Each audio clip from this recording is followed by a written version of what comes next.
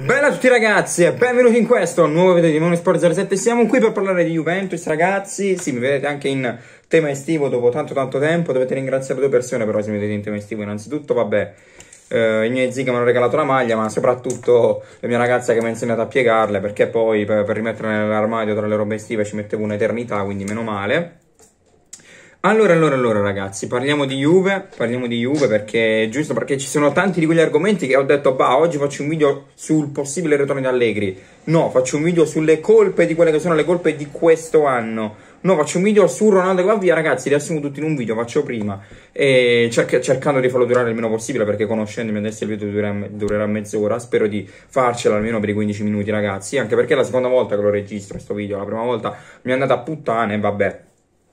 Eh, quindi mi tocca pure riregistrarlo. Vabbè, queste sono difficoltà che ti vengono fuori una volta che fai video del genere, ogni tanto ci sta. Come, così come per sbaglio la foto non la scatti quando uno va il compleanno, capitano anche di queste cose, ragazzi.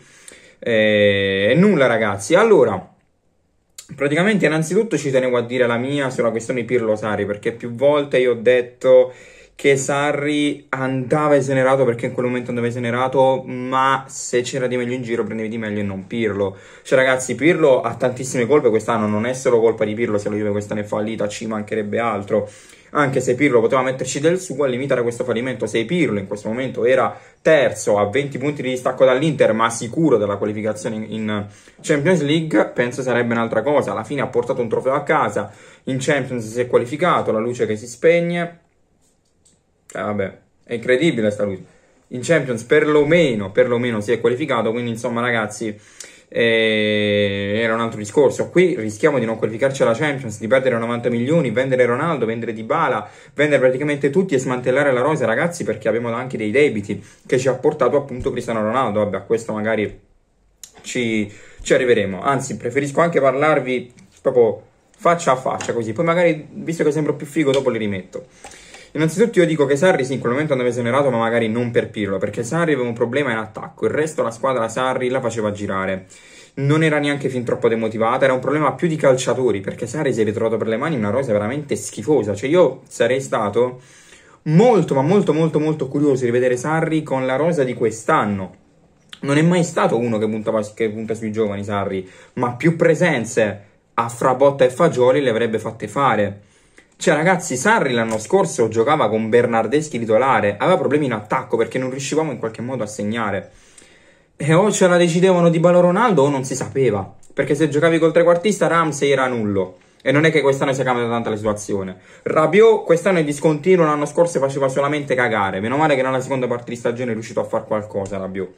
Per il resto, ragazzi, boh, la rosa di Sarri era quella, a centrocampo aveva Pjanic, Bentancur e Rabiot come centrocampisti accettabili. Matuidi era morto, Chedir era sempre infortunato, Emreciana non si sa perché l'ha venduto, quindi insomma Rams era un morto vivente, quindi il centrocampo di, di Sarri ha giocato tutte le partite con Pjanic, Bentancur e Rabiot. E a volte non si sa perché gli uscivano i 5 minuti e metteva fuori Pjanic per Matuidi, mettendo Bentancur regista, quindi veramente vabbè. Però in attacco, ragazzi, le scelte erano quelle. Higuain che la seconda parte di stagione è come se non c'era perché la seconda parte di stagione era come se non c'era Higuain. E vabbè, eh, io avrei voluto vedere Sarri con un Morata al posto di Higuain, alternava Dybala e Morata in attacco e il problema magari in qualche modo lo pervenivi. Lo prevenivi, come si dice. A destra aveva solamente Bernardeschi perché Douglas Costa era fuori tutto l'anno, ragazzi. Quadrato faceva il terzino. Quindi, insomma, che volevi fare? A destra avevi solo Bernardeschi, a sinistra c'era Ronaldo, in attacco solo Dybala, perché praticamente Higuain era come se non c'era. Io avrei voluto vedere Sarri con Chiesa e Kulusevski, che certo Kulusevski non sta facendo una grandissima stagione, ma 6 gol e 3 assist da riserva li ha fatti, 6 gol e 3 assist ragazzi, che non sono pochi. 6 gol, 3 assist e un rigore procurato. Quindi Sarri sì ha delle colpe, ha vinto solo un trofeo, ma ha delle colpe fino a un certo limite. Perché io avrei voluto vedere Sarri con Arthur, McKenny, centrocampisti giovani che si inseriscono, che non sono sempre rotti con Chiesa e con lui. È vero che anche quest'anno la Juve è sempre rotti eravamo, però a questo ci arriviamo. Una delle colpe di Pirlo è che quando eravamo sempre rotti, manco metteva i giovani, ma faceva ancora stancare di più quelli che giocavano sempre. Cioè, dico io, cioè tutti rotti sul 3-0 che ti costa mettermi fra botta, fagioli, quelli, quelli là. Cioè, che magari esplodono e ci fai plusvalenza, come si fa all'estero. Sul 3-0 metti, che ne so, un giovanissimo Lionel Messi, ti fa il 4 il, il 4 e il 5-0 è da valere 100.000 euro, questo giovincello, che ti ha fatto, che ne so, qualche gol in primavera, ti va a valere 5 milioni. Lo puoi prestare, ti esplode e ti fa una plusvalenza, perché cioè, quindi, insomma, voglio capire questo è uno degli errori di Pirlo. Adesso ci arriviamo. Quindi, io, prima di parlare di errori di Pirlo, io vorrei, volevo dirvi: è inutile dire Pirlo almeno ci ha ridato qualcosa rispetto a Sari. No, ragazzi, Sari ha vinto uno scudetto. Pirlo può pure qualificarsi in Champions e vincere Coppa Italia. Ha vinto un trofeo più di Sarri, ma per me lo scudetto è un trofeo che vale per tre. Cioè, ragazzi, allora, sotto questo punto di vista, noi quest'anno, se vinciamo una Coppa Italia, siamo stati migliori dell'Inter, perché l'Inter vince solo lo scudetto e la Juve Coppa Italia Supercoppa. Beh, no, lo scudetto è un trofeo che vale per tre. Per me, eh. Se poi tu vincevi Supercoppa, Coppa Italia e Champions League, allora beh, era tutta un'altra roba rispetto all'Inter, questo sì. Quindi insomma, eh, Pirlo sicuramente non è solo colpa sua, ma lui ha le sue colpe ragazzi. Lui ha sicuramente le sue colpe Pirlo. Perché? Ha i suoi pro, perché ha i suoi pro, ed elenchiamo i pro. Innanzitutto è stato bravo a vincere qualche scontro diretto, perché non ha perso tutti i scontri diretti, ok? Con l'Atalanta un pareggio e una sconfitta. E praticamente eh, più che altro ha perso quei punti stupidi, per esempio due pareggi col Verona e un pareggio col Verona te lo puoi concedere, ma due no. Cioè due pareggi col Verona, eh, pareggio col Crotone, un pareggio e una sconfitta con la Fiorentina, sconfitta con il Benevento, pareggio e sconfitta col Benevento, cioè ragazzi abbiamo fatto un punto in due partite col Benevento, un punto in due partite con la Fiorentina, due punti in due partite con eh, il Verona, cioè ragazzi sono punti persi che pesano, pesano e pesano. Col Torino rischiavi di non vincere all'andata e al ritorno alle pareggiate, quindi queste sono le colpe maggiori di Pirlo, aver perso punti contro squadre del genere in classifica, secondo il mio, eh, il mio punto di vista, ecco. Però negli scontri diretti c'è anche da dire che qualche scontro diretto Pirlo l'ha portato a casa. Vedi il 3-0 al Camp Nou, in campionato comunque qualche vittoria negli scontri diretti l'ha fatta. Ehm, con la Lazio 4 punti in due partite, con la Roma 4 punti in due partite, con il Milan hai fatto un capolavoro, con l'Inter in Coppa Italia hai fatto anche una bella prestazione non tanto per i gol perché alla fine sono arrivati con un errore loro e con un rigore, però nei due match sei stato il più forte.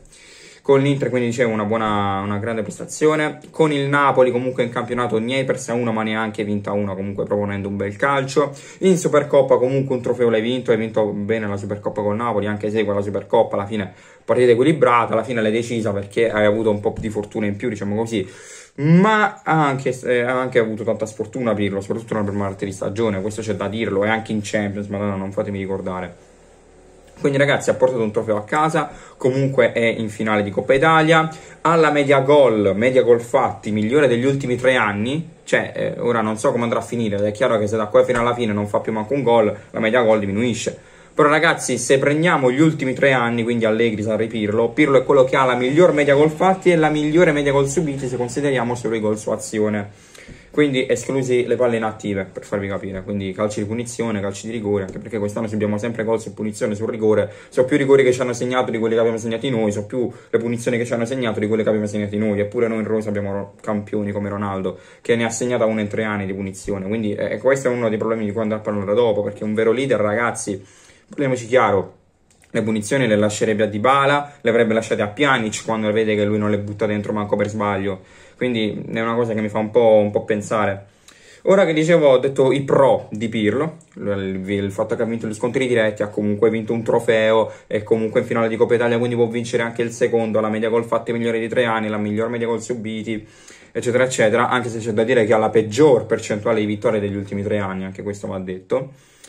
Ah, ha anche detto che, già che la rosa corta punta sui giovani, è una cosa che hai fatto all'inizio, e anche obbligatoriamente, cioè nel senso, che senso ha che tu in partite decisive mi metti Frabotta titolare, a volte anche Portanova, e invece quando vinci 3-0 i giovani non me li hai messi nella seconda parte di stagione, qualcosa che non c'è. Cioè Frabotta, io l'ho sempre detto, non è tutto sto giovane, a me piaceva molto più Portanova ma Frabotta ha fatto comunque un gol e un assist. Quando è tornato Alexandro, le ha giocate tutte Alexandro, a meno che non veniva adattato Danilo a sinistra, le ha giocate tutte Alexandro, ragazzi. E Frabotta un gol e un assist l'aveva fatto. Dico io, mettimelo sto cazzo di Frabotta, perché Alexandro si vedeva che non ha voglia di giocare. Se togliamo la doppietta che ha fatto contro con, chi è che ha fatto la doppietta Alexandro? Vabbè, uno, non mi sta avvenendo, però ultimamente ha fatto la doppietta. La partita prima della Fiorentina era comunque, ma non, non, ricordo proprio chi sia, forse lo Spezia, ma non, non, no, no, non è lo Spezia, vabbè.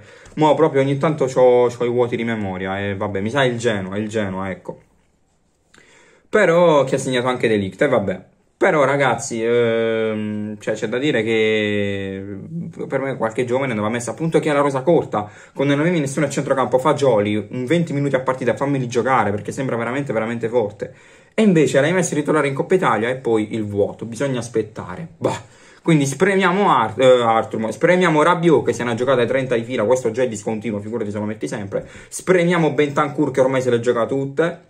Non lo so. Spremiamo, spremiamo McKenny che ha il problema all'anca da tre mesi, eh, da tre mesi non è più lo stesso, anche se con tutto che non è più lo stesso, sempre meglio di, di, di qualche altro centrocampista che abbiamo. Quindi, boh, non, non lo so.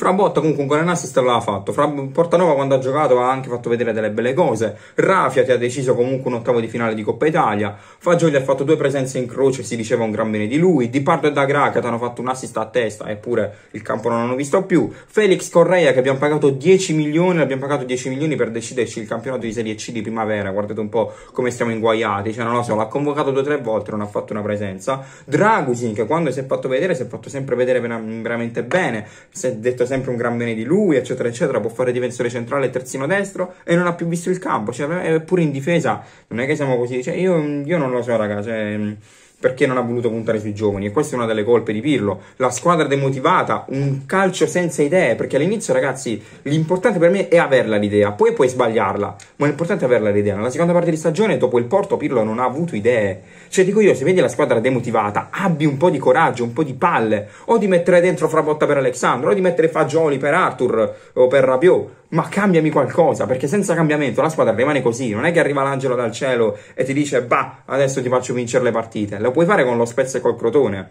ma nei, negli scontri dove richiedi un po' più di attenzione, o ti va di culo o ti va male, per farti capire, eh? oppure te le decide un gran calciatore, che è Federico Chiesa, quando non c'è stato Chiesa sei andato in tilt, sei andato in tilt, o se Chiesa gioca male, o se Chiesa non c'è, praticamente tu per, sei praticamente andato in tilt la squadra si è demotivata, ragazzi. Quindi non hai avuto le palle per me di cambiare modulo, di cambiare qualcosa, di cambiare i giocatori in campo, di dire ora ritorna fra botte, non è più Alexandro titolare, di dire cambio qualcosa. Cioè, ragazzi, veramente incredibile. Abbiamo giocato che durante la stagione c'era una disorganizzazione tattica veramente incredibile. Perché terzini destri, la Juve, ci hanno giocato Delict, Dragusin, Danilo e Quadrado. Quattro giocatori per un ruolo.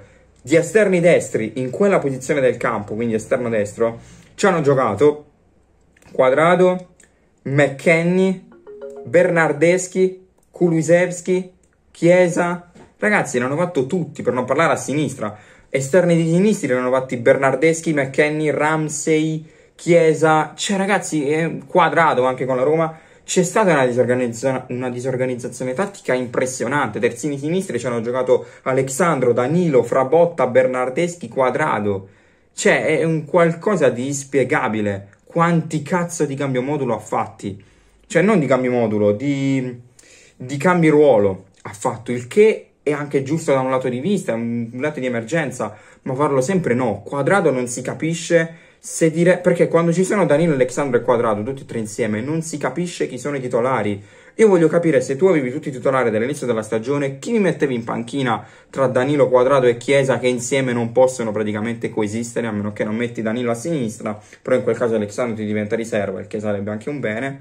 Cioè, io veramente non si capisce. Allora, o mi cambi modulo, ma cambi qualcosa, perché quando vedi nella seconda parte di stagione, post partita col Porto, una squadra così demotivata che ti perde col Benevento, che ti pareggia col Buttorino, abbi il coraggio di cambiare qualcosa. E Pirlo questo coraggio non l'ha avuto, ragazzi chiaramente non l'ha avuto. Ha gestito male Ronaldo perché ci sono state partite dove diceva lui io tratto Ronaldo come tratto Fabotta e quindi Ronaldo era solo un valore aggiunto in questa squadra, il che rispecchia anche il mio modo di vedere, ma neanche che in certe partite cerchi sempre Ronaldo mettendolo al centro del gioco, in certe partite no, dipende dall'avversario chiaramente, ma veramente non se ne è capito assolutamente nulla è stato gestito male anche a livello fisico perché se Ronaldo ti dice io voglio giocare col Ferenc Varos allora se hai le palle di, di, non incentrare il gioco su Ronaldo mi devi avere anche le palle di dire no Ronaldo noi in Champions ci siamo già qualificati. Tu col Ferenc Varos non giochi. Cioè non non giochi magari non ti fai tutta la partita se proprio hai voglia di riposare ma in campionato mi serve recuperare tu in trasferta col Benevento ci devi essere. Che poi il problema era Ronaldo come se non era Ronaldo. Cioè, non ho capito. Semmai il problema inverso, perché all'andata senza Ronaldo hai pareggiato, al ritorno con Ronaldo hai perso, quindi è un po' contraddittorio anche anche questo, questo discorso, ragazzi. Eh. Con la Fiorentina hai fatto un punto in due partite con Ronaldo, quindi alla fine a parte che riusciamo anche a criticare quello che è in questo momento il capocannoniere indiscusso della Serie A, perché capocannoniere con 4 gol di vantaggio su Lukaku, il che non è da poco, ragazzi. Però eppure ci sono troppe partite dove Ronaldo è sparito dalla circolazione del gioco della Juve, che veramente... Oppure dove si divora i gol, come con la Fiorentina, che Kuluseschi fa un capolavoro di cross e lui si divora il gol. Un Ronaldo senza stimoli, un Ronaldo che è arrivato fino in fondo a tutte le competizioni nella sua carriera e ora dove non ci è arrivato sembra un po' fare i capricci il che non mi sta bene, quindi per me Ronaldo bisogna venderlo e questo è un altro punto che vi dico, per me Ronaldo bisogna venderlo ragazzi, ma perché dico Ronaldo bisogna venderlo? Secondo me è anche lui che lo decide, cioè il destino di Cristiano Ronaldo non lo può decidere la dirigenza della Juve, lo, lo decide molto molto più lui e il suo entourage, secondo il mio modo di vedere. E a parte che ora che si parla di Allegri che torna, contemporaneamente si parla di un Marotta avvicinato alla Juve, Paratici e Nedved che sono in scadenza di contratto mi fa tanto pensare che Allegri, tanto quando se n'è andato, non voleva fuori di bala, ma più che altro è stato Alle- ehm, Ronaldo a volere la testa di Allegri prima e di Sarri poi. Quindi questo mi fa veramente riflettere perché nel momento in cui Ronaldo non ha più voglia, Ronaldo è in discussione, Ronaldo potrebbe essere ceduto, si parla di Allegri. Guarda caso quando anche Paradice e Nedved sono in scadenza di contratto, quindi è stato Agnelli, Ronaldo, Paradice e Nedved a chiedere la testa di Allegri, a voler esonerare Allegri. C'erano delle vedute diverse, questo è certo, ma ci sono sempre delle vedute diverse a modo, vedere, a modo mio di vedere nella vita.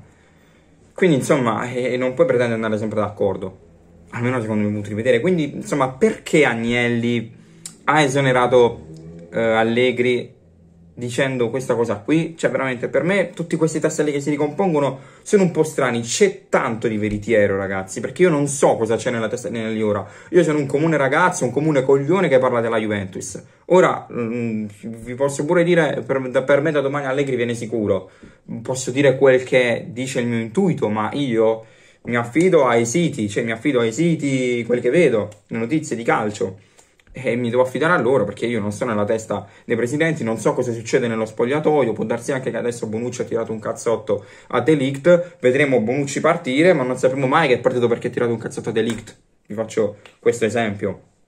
Quindi insomma ragazzi, questo è il mio modo di ragionare. Parlando anche di altre cose, io penso che per quanto riguarda il mercato, plusvalenza, eccetera, eccetera, io credo che quelle le fai senza problemi. Se vuoi fare proprio plusvalenza, accetti lo scambio Romagnoli-Bernardeschi, anche se con Bernardeschi faresti una plusvalenza. Accetti questo scambio ci aggiungi anche un conguaglio, perché il Milan non è, non è ehm, del tutto convinto. Adesso vi spiego anche perché aggiungere il conguaglio.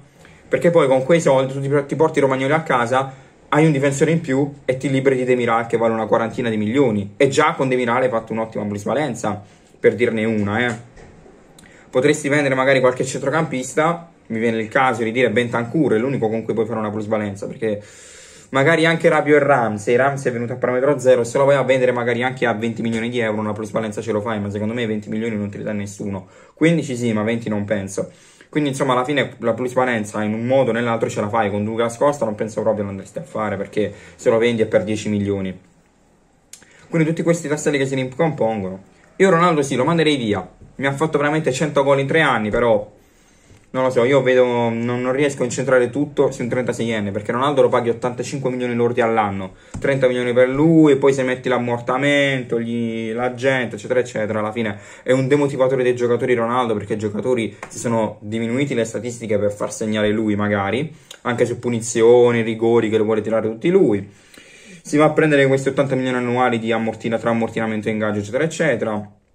Aumenta la pressione perché tu dici con Ronaldo devi vincere per forza la Champions League, siamo fuori dalla Champions con Ronaldo, quindi ti aumenta anche la pressione che da un punto di vista è anche... Quindi insomma per me il ritorno di Allegri non è detto che Allegri torna e ti vince lo scudetto, sarebbe bello vedere Allegri contro Conte ragazzi, è veramente bellissimo, però per me l'Inter potrebbe anche vincere il secondo scudetto di fila perché per tornare a vincere, il telefono mi squilla, per tornare a vincere hai anche bisogno di perdere un pochettino prima, un po' come ha fatto la Spagna, che è uscita ai gironi dei mondiali, beh, però poi dopo successivamente un po' è cresciuta e in qualche modo si è anche rifatta. Perché se andiamo a vedere adesso la Spagna, è una squadra che comunque ha riacquisito rispetto in Europa e parte anche tra le favorite per me a Euro 2021. Ma così come la Spagna, vi posso fare tanti altri esempi di altre squadre che magari sono in un primo momento crollate per poi magari essere eh, ritornate grandi, ecco. Quindi insomma, eh, non, io non, non, lo so ora cosa succede ragazzi nella testa di tutti quanti, però io so che tutta questa situazione non me la conterà e che tutto, tutto dipenderà dalla qualificazione in Champions League. È una situazione delicata, Tudor non ti consente di avere un'idea diversa da Pirlo, magari Tudor giusto per dare uno scossone lo metti, ma, ma non credo mai lo riconfermeresti, perché già vedere che sono passati da Agnelli a, da Allegri a Sarri, da Sarri a Pirlo, poi da Pirlo a Tudor, mamma mia di male in peggio. Chiellini e Buffon, Chiellini e Buffon non saranno mai un problema per questa Juventus, secondo il modo di vedere, perché appunto hai bisogno di fare cassa, quindi è inutile che mi va a vendere Chiellini e Buffon per prenderti un altro difensore e un altro portiere. Chiellini 20 partite all'anno te le fa, chiaramente, sempre se con gli infortuni, eccetera, eccetera, però 20 partite all'anno penso che te le faccia. Quanto alla questione dell'allenatore, ed è l'ultima cosa che vado a dire in questo video, lo concludo così come l'ho iniziato, non proprio come l'ho iniziato, con gli occhiali da sole. E si è parlato anche di Flick. Io Flick, alla fine chi non vorrebbe Flick in questo momento, ragazzi? Ti, ti offre un gioco spumeggiante della Madonna col Bayern Monaco, anche senza Lewandowski. Figurati se non lo vorrei nella mia Juve, Flick. Allegri mi andrebbe bene. Se vi devo dire qualche altro nome, io dico De Zerbi. E appunto sarei curioso di rivedere Sarri con una rosa del genere. Anche se ormai Sarri non ha creato alchimia, le sue, con, le sue con, uh, dichiarazioni quando era al Napoli pesano tanto. Però se mi parlate solo dell'allenatore, Sarri sarebbe veramente, sarei veramente curioso di rivederlo a Torino. Così come anche De Zerbi sarebbe buono, Spalletti non mi piacerebbe tanto, Zidane Costa, Guardiola eh, praticamente ti fotti tutto il calciomercato, perché lo vai a pagare veramente, lo vai a strapagare. Quindi io vi dico le mie idee. Zidane mi piacerebbe, ma mi fa un po' storcere il naso. I miei preferiti sono Allegri, Flick e per ripartire, perché no, De Zerbi Gattuso. A me non andrebbero male, ragazzi. Vediamo. Perdere aiuterà a vincere l'anno prossimo. Però se usciamo fuori dalla Champions sarà veramente un disastro, ragazzi. Detto questo, il video termina qui. Spero che il video vi sia piaciuto. Se ti è piaciuto, di lasciare mi piace. Caso contrario, un dislike. Commenta se siete d'accordo o disaccordo con me. Se non è ancora fatto, iscrivetevi al canale. In descrizione il link per seguirmi su Instagram. Da Monosport07 è tutto. E noi ci vediamo in un prossimo video. Bella, ragazzi!